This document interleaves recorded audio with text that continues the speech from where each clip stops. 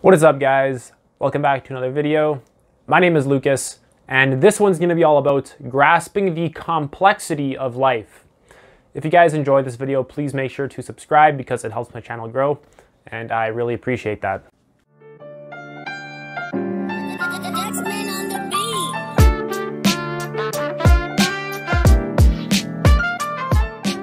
You can understand everything in reality. You can understand why politics is the way it is, how human relationships work, how your emotions work, how your mind works, why racism exists. You can understand every single thing, how business works. You can even understand why there is even a reality in the first place. You can understand what the point of everything is. There's so much content within reality. Have you ever noticed this? It's so full of things. There's so much happening in reality. There's science, religion, there's sports, entertainment. There's so much, like, that doesn't even scratch the surface. There's so much stuff happening. And because there's so much content within reality, it's easy for people to get stuck on one thing and spend a lot of their life and energy on some smaller picture idea and end up losing sight of the bigger picture. A lot of people's minds are naturally wired to be more detail oriented and focus on small picture things and ignore the big picture. And the vice, the, the opposite is also true. Some people's minds are naturally wired to understand big picture abstract ideas much, much easier and prefer those to detail oriented ideas. True big picture thinkers are actually very rare. It's maybe about 20% of the population on Earth is really able to create a big picture view of the world. It's an awfully rare trait to have.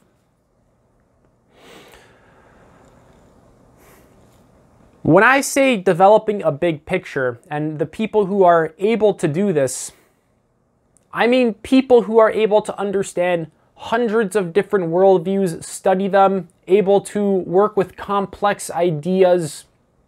They can they can juggle ideas around effortlessly and they're they're flexible with what they are letting into their mind and, and letting out. They are masters of ideas. And this doesn't mean that you just believe in random things, but that you actually inquire into topics. And no topic sounds too stupid or crazy for you to explore because because you don't know what a topic is until you until you explore it.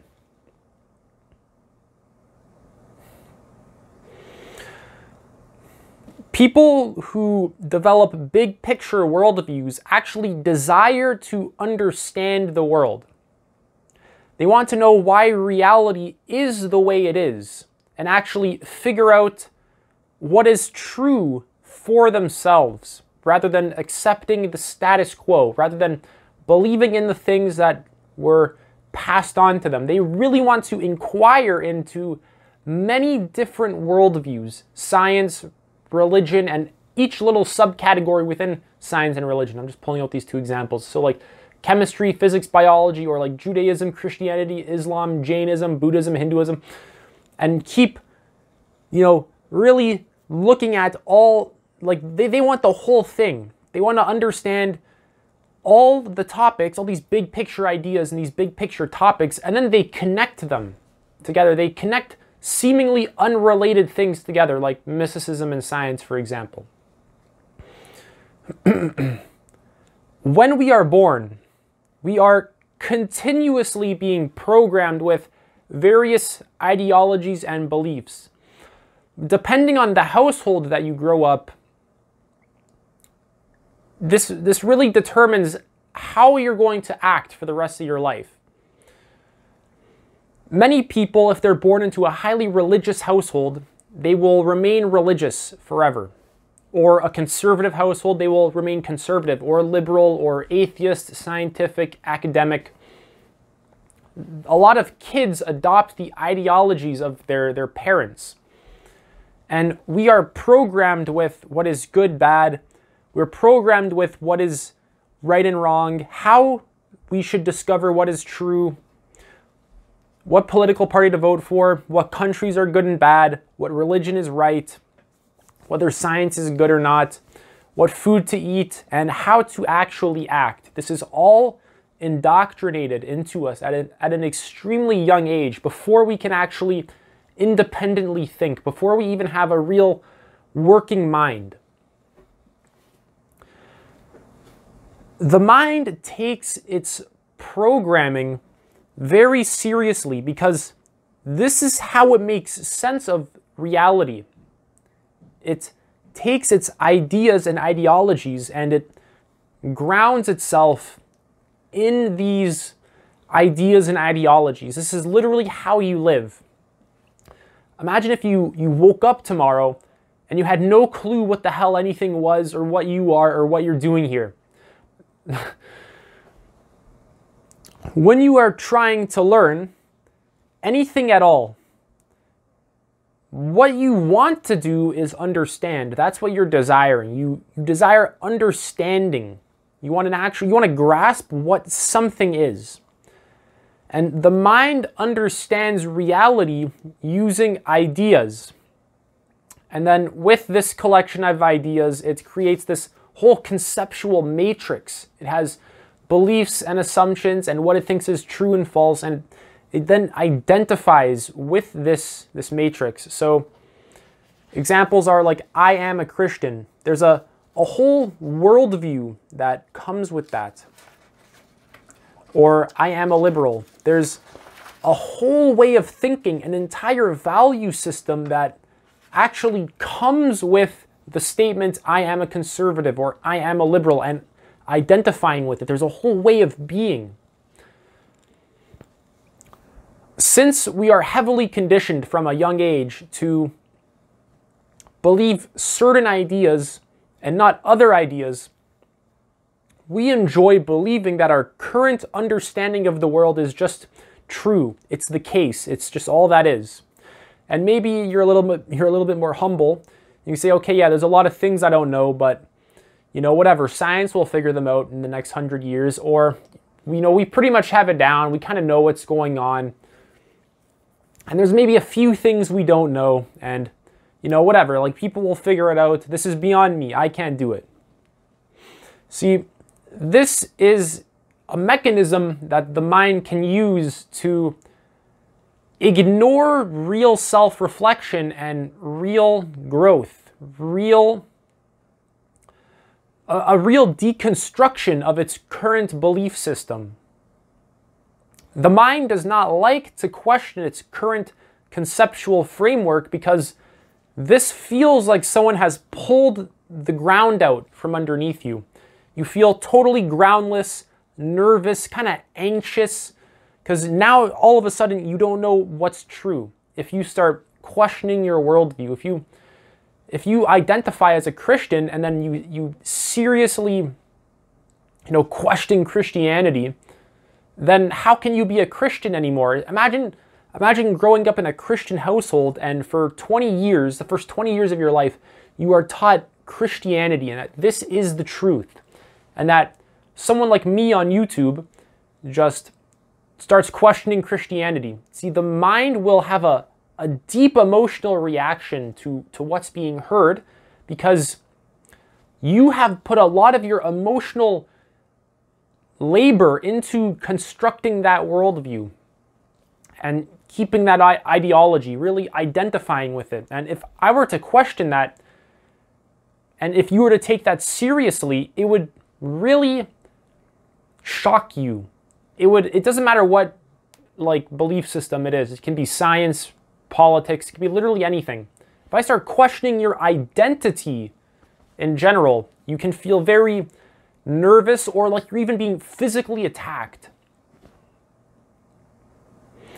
See, you can't ask people to just drop their belief system because it doesn't work like that. See, they are attached to that belief system. They're attached to this way of thinking. You are attached to a certain way of thinking.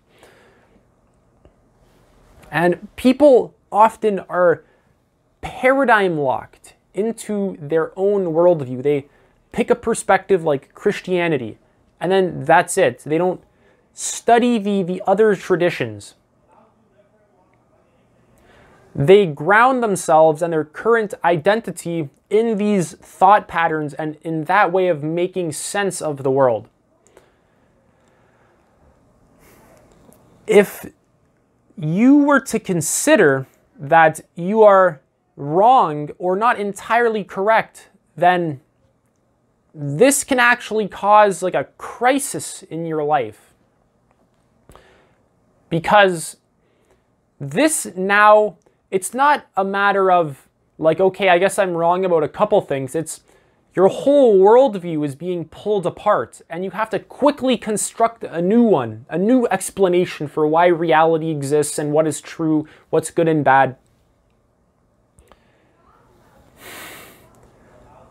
It is extremely rare for people to go above the level of development that they grew up in. So that's why, whatever country you were born in, odds are the majority of people will not go above that culture's level of development unless the unless people have a true desire to go beyond it. And it really takes a lot of work to, to truly self-actualize. When a human's ideology is questioned, this is taken extremely personally because we humans are extremely identified with our minds with our ideas of reality, with our thoughts. We feel as though our thoughts and beliefs are just what we are and not something that we collected and not something that we were programmed with. Odds are, if you're a Christian, then you're only a Christian because your parents were a Christian or you were brought up in that household. You most likely did not you know, consider the religion or think about it. It was just something you were indoctrinated with. Very rarely do people sit down and, you know, question worldviews and, you know, come up with, you know, their own. And, you know, even if you were to do that, see, how do you know it's true? There's so much complexity within life that you can't sell yourself to one worldview. You have to actually question every single one and not just wave it away like it's bullshit, but look for both the bullshit and the truth in every worldview. So something outrageous like, you know, the Nazis in World War II. See, if I say you can actually learn from them, see, immediately this sounds like holy, like holy crap, bro, this guy's insane. You can learn from the Nazis, but see, they had a profound passion just for being German. And see, that is something that is great, but obviously it's really toxic in a million other ways. But you see how there's actually a nugget of wisdom and gold within that perspective.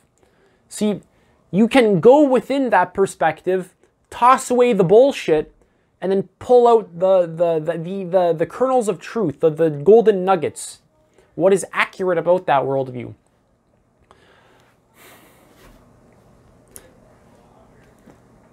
Humans identify with any possible worldview. It doesn't matter if you're religious or scientific, you're an atheist, politics, anything. Every possible worldview you can identify with. And these worldviews are like costumes. These are artificial identities or artificial roles that we construct and then we truly believe to be ourselves. Like, I am a Christian or I am white. See, when, when you see like a four or five year old pretending to be Superman and like they're pretending to fly, if you tell him to stop pretending, see, he might get a little pissed off because he wants to play Superman, but he knows he's pretending. He knows he's not actually Superman. Whereas most adults or other human beings, if you tell them, hey, you're not actually white, you're not your skin, and you start questioning their identity, See, now it's see now it can be threatening to people. They aren't aware that they are imagining this, this identity that they believe themselves to be.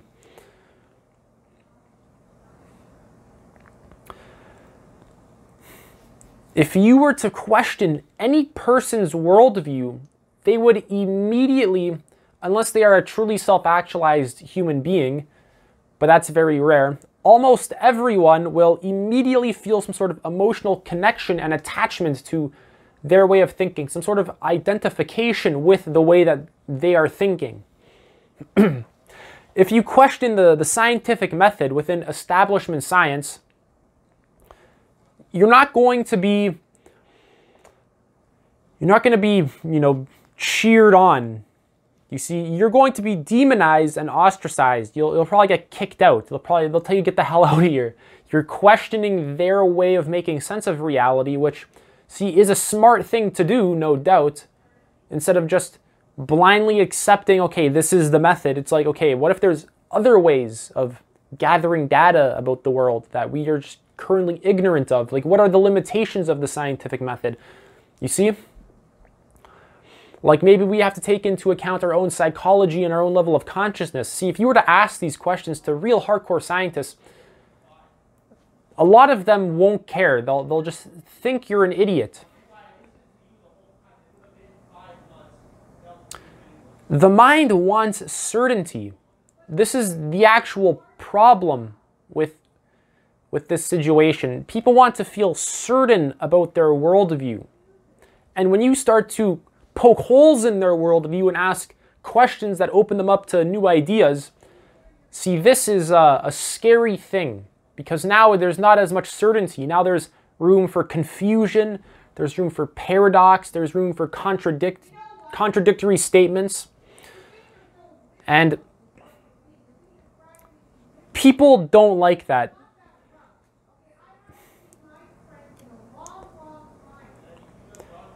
If you are honest with yourself, then you will admit that most of your worldview came from your culture, your parents, or your friends, which means that you never really sat down and like questioned whether like Christianity is true or like Islam is true or science is true. You never actually derived the answers for yourself, but you pretty much blindly accepted them from the people around you most of what you know, you consider knowledge, is just thought patterns and belief systems that you were programmed with and indoctrinated with.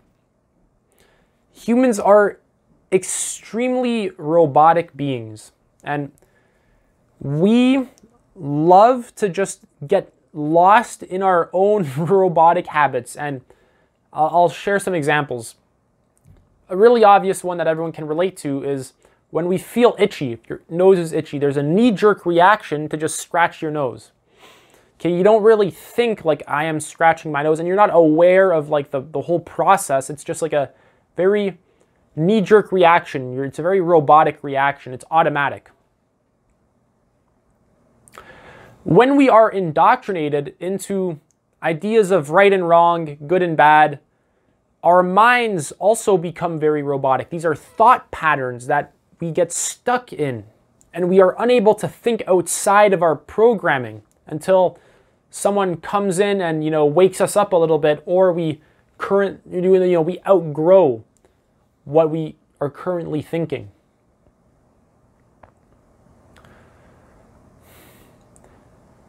When our ideas are questioned, we usually react unconsciously and perceive this questioning as an attack on us personally. So, like, if I go into establishment science, and start questioning it, it's it's going to be the case that people there will take it personally, like I'm attacking them. But really, what I would be doing is just questioning the scientific paradigm. But they have this identity around science, which then creates this closed mindedness, this dogmatic and ideological way of thinking. And it's the same with religion, politics, different philosophies, whatever. What I talk about a lot on my channel is the deconstruction of worldviews and ideas. So, what happens when you return to your natural state? What is your most natural state? What happens when all philosophical viewpoints are removed and deconstructed? When you have no beliefs left, what is left then?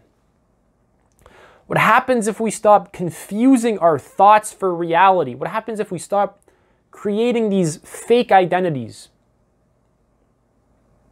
And I'll, I'll answer one of those questions. What happens when all philosophical viewpoints, beliefs, or and beliefs are removed and deconstructed? The, the actual truth of what reality is remains because the truth about reality doesn't need a belief, okay? Like it's true now. What reality is, it's true. And you don't have to believe in it in order to to get it. That'll often screw you over actually. What I talk about never actually requires belief. I actually challenge people to explore various points of view and see reality from new angles that they didn't previously know. Some views are very simple and some views are very complex. Reality is extremely profound and complex. There are so many ways to make sense and see the world, and some are more accurate than others. And some are partially right, but they don't grasp the full truth, and some are totally wrong. Some are like 99% wrong. A good example of something that is partially right is science. See, science loves to use small pictures instead of the big picture. Science is extremely guilty of this. Consider for a moment that your views are not absolutely true, but they are only true within a certain context, within a certain way of viewing the world. Some views are only true within the, a smaller picture, but when we zoom out, they actually become less and less true. This is extremely true with, with science. Science is amazing at reporting facts small picture facts about the world, like raw data and measurements. But science doesn't take into account the big picture. Science assumes that if we just collect enough minor facts about reality, then we will eventually grasp what it is and then we will be done. And we have to realize that that is an assumption and that is a belief.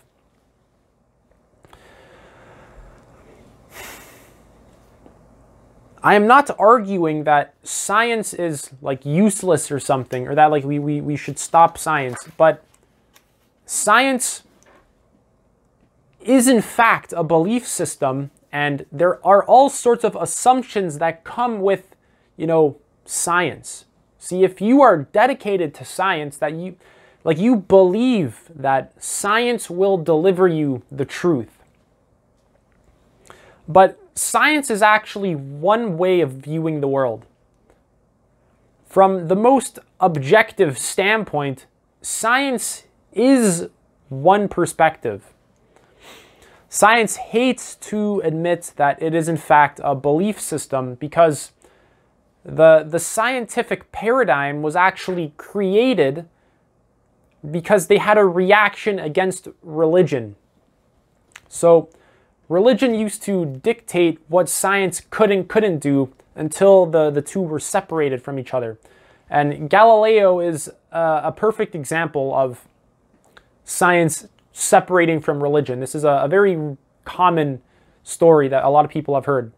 So Galileo was a astronomer who um, had he, he observed a lot of you know observable truths about you know reality like the moons around jupiter i believe and I, a lot of other things And this contradicted the, the, the church's views of reality. See, the mind doesn't like questioning itself, and when something when something contradicts the mind's current worldview, it gets really defensive.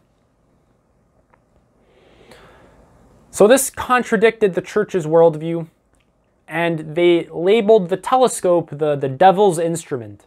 Instead of just looking through it and, and seeing that they were wrong, they couldn't do that because they're too identified and attached to their current worldview that they were unable to step outside of their worldview, go meta on it, see it from a bigger picture, and just look through the damn telescope and see the see the moons. Like it, it was pretty simple.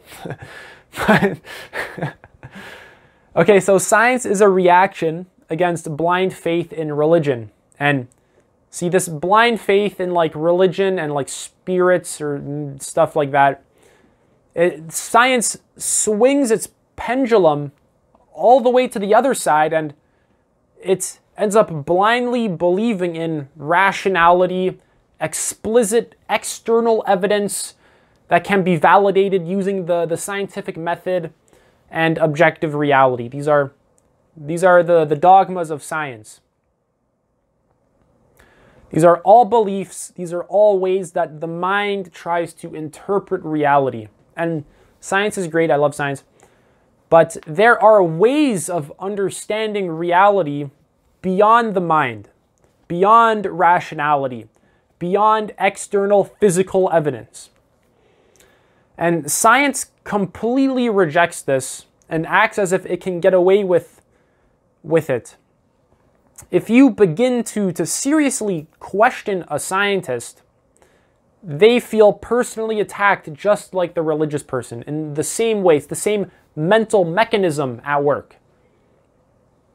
Suddenly, uh, a rationalist scientist, just rational skeptic scientist, see it, it doesn't become logical. That argument is no longer logical, but actually becomes more about feeling. See, there's a, a common theme within science of just rationality and you know the facts and logic and uh, a pushing away of emotion which is really unhealthy for the human psyche um, but the facts and logic are actually driven by emotions when scientists value facts and logic they are unconsciously stating how they feel about the facts human beings are extremely emotional Logic and reason is actually a, a, great mechanism that your mind uses to fool itself.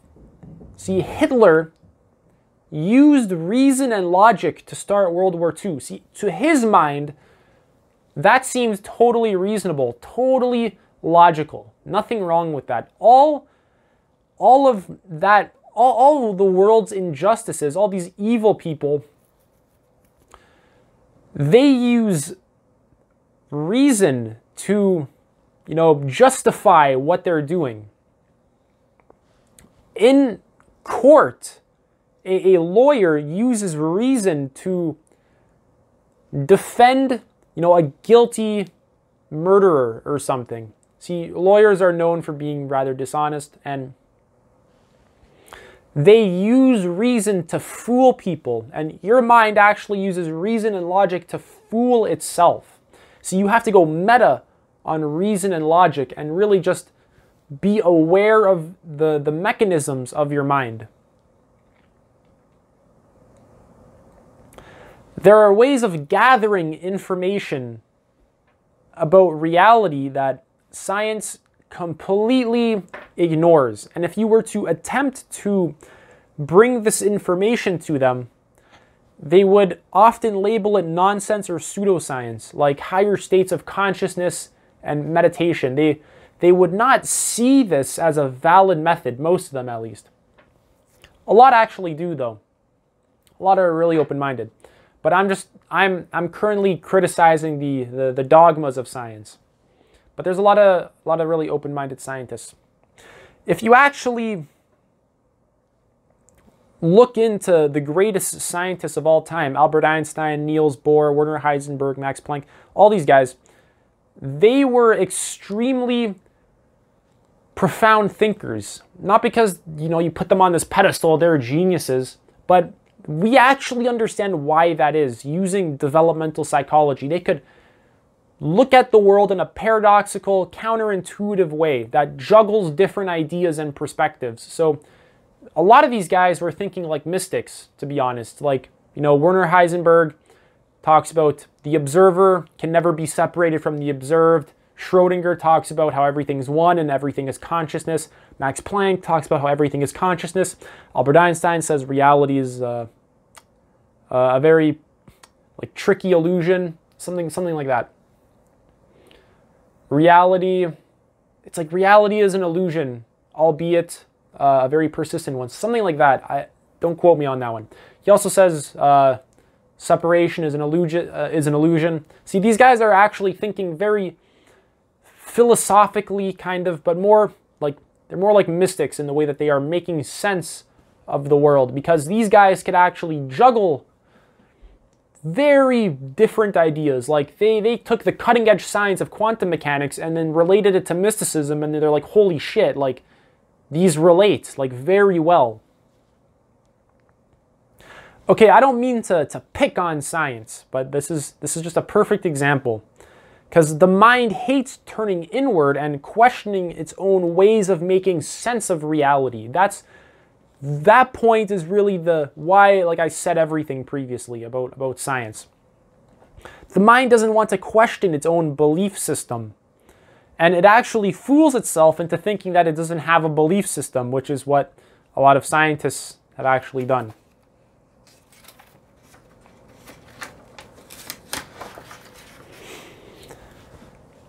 What is actually true about reality doesn't need defending.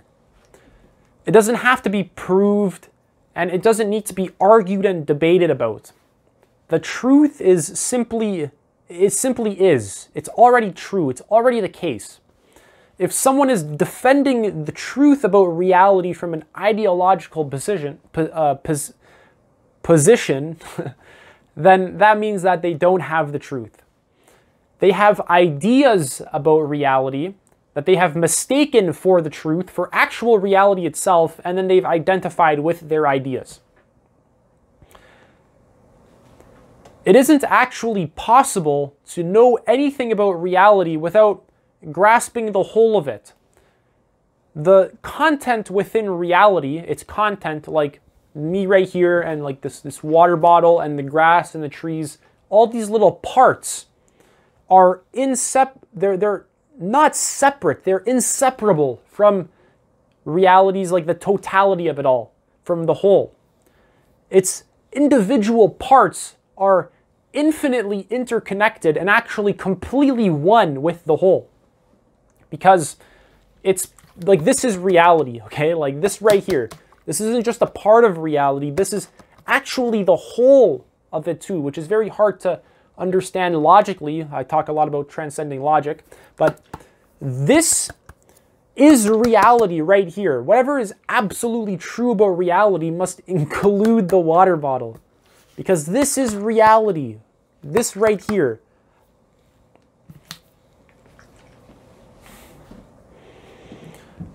In order to know what the best political system is, or the best way to do science, the best way to do healthcare, the best anything, you actually need to understand what reality fundamentally is at its core, since all these things are in fact reality and completely inseparable from what reality fundamentally is. So, conservatives versus liberals, who's correct? Which one do you vote for, okay? Like, which party is more corrupt? Objectively, which one is more corrupt? Which party is pushing society towards the next level of human development? And which one is clinging on to the outdated old ways of, of being? Are both parties somewhat true and somewhat false? And which one is more true than the other? And these are all answerable questions. Many people within politics, they, they love to get some small picture idea and they act as if this is the full truth. See, conservatives will say something that liberals do poorly, and vice versa. Liberals will say something that conservatives do poorly, and both sides will become ideological about some small picture perspective while ignoring the full truth of the situation. And there is a political party that is more psychologically evolved than the other. And you can figure out which one that is. Everything I talk about here is 100% answerable. And I actually encourage you to do your own independent investigation instead of blindly accepting any idea that I say, okay?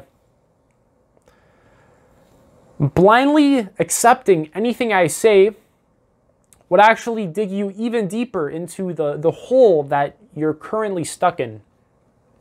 And this hole is all about the inability to distinguish truth from falsehood. See, most people are deeply locked into the worldview that they currently hold and they can't look outside it. They actually can't inquire into the truth about a, about a situation because they don't see reality for what it is, but how it can serve them and how it relates to them and their current way of thinking about it.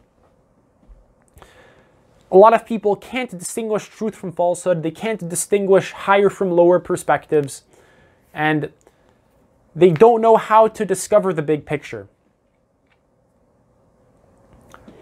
And a lot of what I'm saying here sounds too like lofty and philosophical, but these ideas are very very practical. They relate to your everyday life, your current emotional state, the current way you think about this present moment right here. And they have real world consequences because the big picture contains all of your little small picture facts. And you actually need the big picture in order to truly get what these small picture facts are.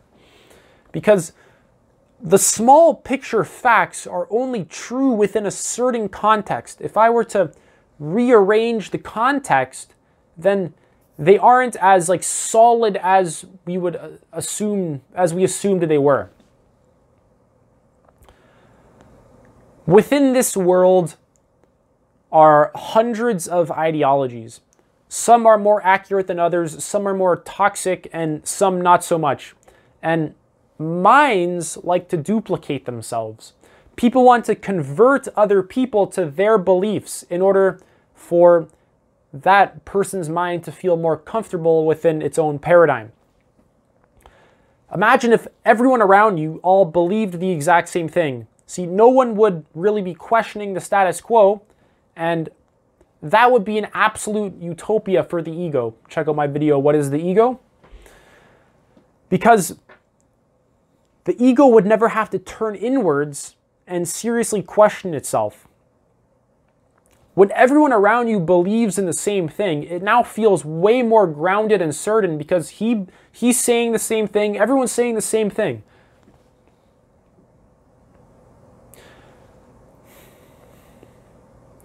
In that case, questioning the status quo would actually threaten your chances of survival. So, you know, back when you know church and state weren't separated and really religion ran the show, there were all sorts of people that were you know killed for you know going out against the church. You see, like Galileo was you know the devil's instrument, and even uh, I believe named Giordano Bruno. I think he was a, I think he was Italian. I'm not entirely sure, but I know, I think he was a Catholic monk, and he actually was talking more about mysticism and a, a, direct awareness of what reality is rather than the, the, the, the, religious dogma at the time. And he was actually, I, I think, burnt at the stake. Even though he was a Catholic, he, he was a Christian. It has nothing to do with, with what's true, these, these ideologies. They have everything to do with defending themselves. If you look at Gandhi, Jesus, Martin Luther King, see what, what was that all about? That was all about people seriously changing and questioning the status quo to try and create something more conscious, more accurate, more true, more loving, and more evolved. And people reacted negatively against that because it involved questioning their current ways of thinking. And they were all killed. the only way to get the truth of something is to derive it for yourself. Science will not give it to you. Religion won't either. I won't. Your parents won't. Your school won't. No one will. The majority of people don't have anywhere near an accurate view of the world, and they will still attempt to indoctrinate you with their ideas because to them it's accurate. See, the mind doesn't say to itself, I have falsehood, I haven't, I'm distorting reality. So your mind doesn't say that. Your mind just thinks ideas and then that's it. You ground yourself in your mind. You identify yourself with the mind and its ideas.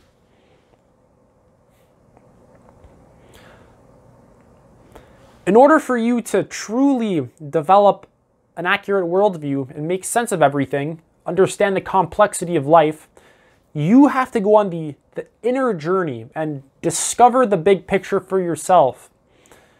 Or else you will feel stuck. You're going to remain trapped within the limitations of your own mind. Okay, that's it for this video. If you guys enjoyed, please leave a like. If you guys want to see more, subscribe. If you guys have any questions, comments, or suggestions, leave them in the comment section below. And thank you guys so much for watching. Peace.